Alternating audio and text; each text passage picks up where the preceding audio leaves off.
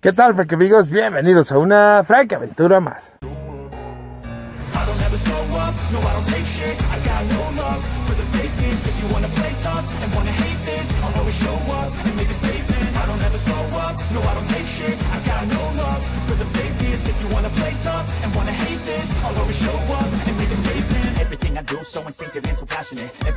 Bueno, porque amigos, el día de hoy hemos regresado a un lugar muy misterioso en el cual ya teníamos bastante tiempo sin venir, que es el lienzo de la puerquita, mis amigos.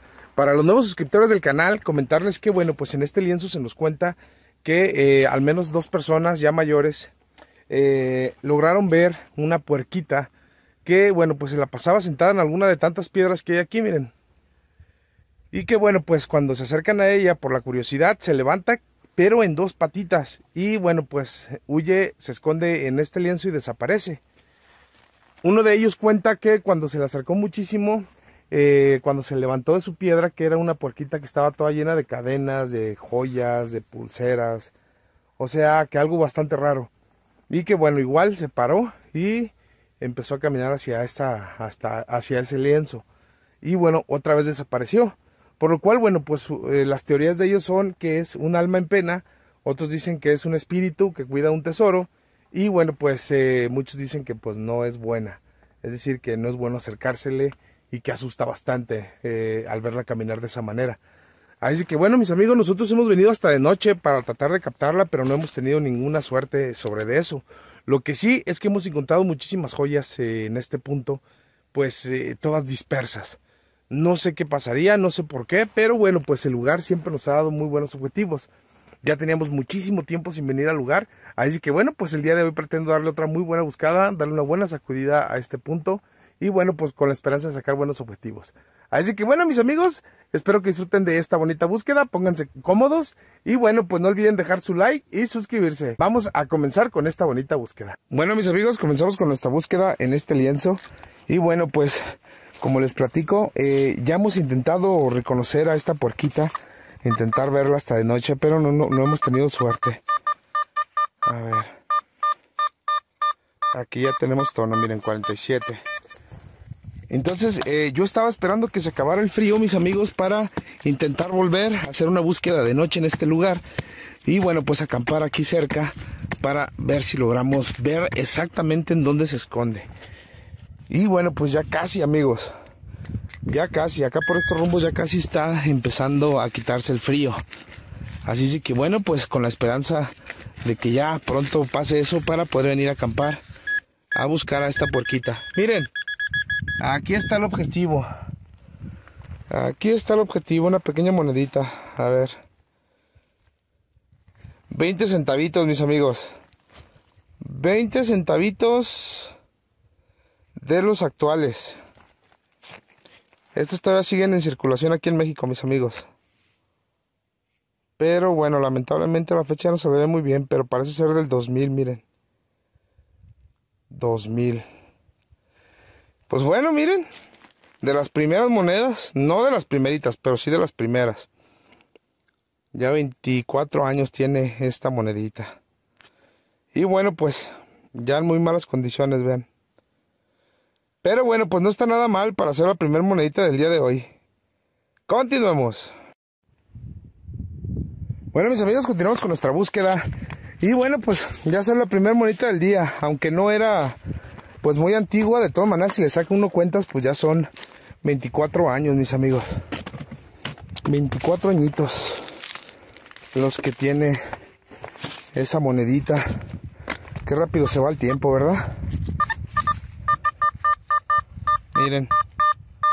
Este tono está bastante altito y bien chillón. A ver, vamos a ver. 24 añitos, mis amigos. De verdad es que vuela, vuela el tiempo. Miren, aquí está. Y bueno, pues el tono era bastante bueno, ¿eh? Es... Eh, bronce, mis amigos. Y bueno, pues aquí dice que es de 100 pesos, pesetas, mis amigos, es moneda española, miren. Una moneda española de 100 pesos, no, 100 pesetas. Y bueno, pues ahí tiene el escudo real de España. A ver. Vamos a ver quién está en la cara de la peseta. Carlos I, rey de España, mis amigos. Juan Carlos I, rey de España, 1982. Fíjense nada más. 1982. Excelente, amigos. Bastante bonita moneda, ¿eh? Ah, miren, en el canto tiene algo. Vamos a ver qué. Ah, cruces, miren. O no sé qué sean. No, no son cruces. Estos adornos los he visto en algún otro lado. A ver, amigos de España, ahí díganos. A ver si son cruces o son algunos adornos nada más, vean. Bastante bonitos, ¿eh? Bastante bonitos. Y bueno, pues el escudo también no se diga, miren. Ahí está un castillo, un león, unas franjas, no sé qué signifiquen, y unas cadenas a un lado. Y bueno, pues las columnas, ¿no? Muy bonito sello, ¿eh? Se parece mucho a los antiguos, a los, a los sellos antiguos de las eh, macuquinas. Pues bueno, una buena monedita de España, mis amigos. Continuemos. Bueno, mis amigos, continuamos con nuestra búsqueda. Y bueno, pues, muy buenas monedas. Esa del 82 de España pues fíjense, pesetas, no pesos, ¿eh? ¿Sabe qué significarán pesetas? Y bueno, pues el Carlos Rey, el Juan Carlos I, creo que sigue siendo rey, ¿no? Si no estoy mal, creo que sigue siendo el rey de España hasta este momento. Pero no estoy seguro. Lo bueno es que tenemos muy buenos amigos de allá de España. Vean esto. 61, mis amigos, 59, 61. Bastante chillón y bueno, pues aquí pegadito al, al lienzo. A ver. Vamos viendo, mis amigos, suena bastante bien, ¿eh? Vean esto, mis amigos. Vean esta belleza. Vean nada más qué preciosidad. Ven que es lo que les digo, es que en este lugar eh, salen, salen muchas piezas, pero todas regadas. No hay un punto donde tú digas aquí. Vean esto, mis amigos.